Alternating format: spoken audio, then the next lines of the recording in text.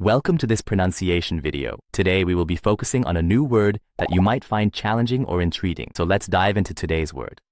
Finanzpolitik, which means, Fiscal policy related to government revenue and expenditure management. let's say it all together. Finanzpolitik.